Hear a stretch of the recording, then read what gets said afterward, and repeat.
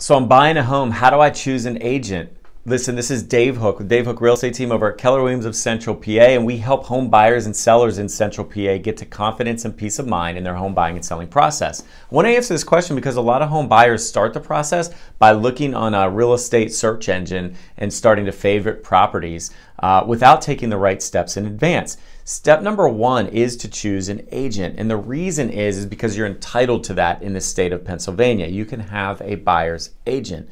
The way to choose a buyer's agent is number one, make sure that you interview more than one.